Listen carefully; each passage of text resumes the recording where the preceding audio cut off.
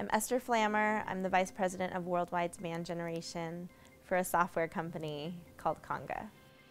Back in April, around my birthday, I found um, like a tiny little ball. It wasn't even like a lump. And I've had one of them before, and they had biopsied it, and it was just a cyst. And so that's what I thought it was. So I just kind of didn't think anything about it and just kind of went on with my life. And then about a month later, I was in London, and it was in May. I was traveling again for work, and I felt that it had grown bigger um, into actually a lump. And that's when I got, started to get pretty concerned. So I called my doctor, and then they called the pathology department.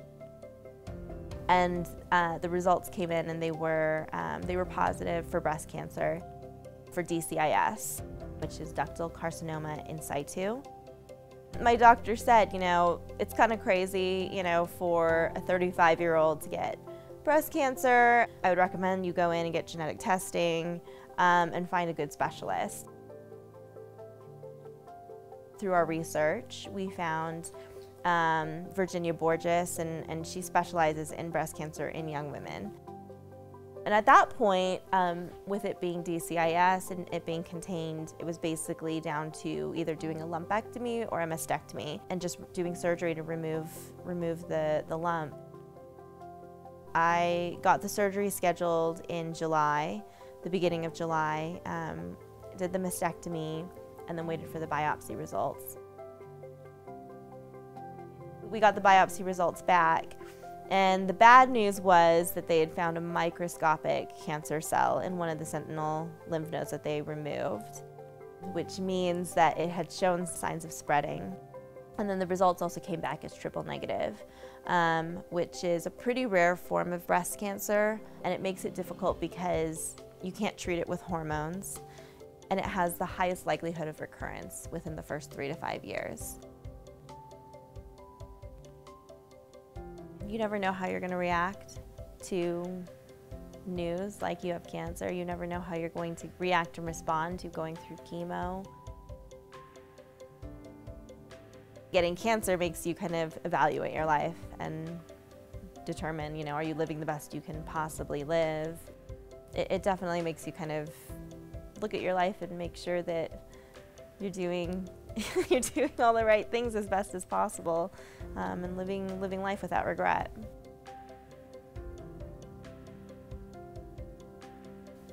I wanted to live as normal of a life as possible.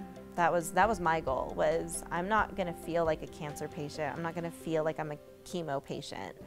Um, I'm going to be a mom and a wife and you know a manager and and and and live my life how I want to, right? And li live my life how I would normally live, even without cancer.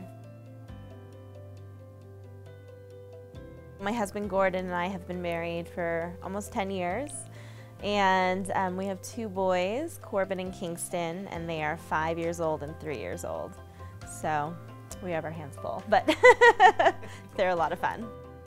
I would say some of the challenges um, in going through cancer treatment and that whole journey, it was really hard for my family. I think for my mom and for my husband, watching someone that you love that much going through cancer and going through that much pain and treatment, I think it was, sometimes I think it was harder for them than it was for me actually going through it. You don't go through cancer, you don't go through treatment completely unscathed.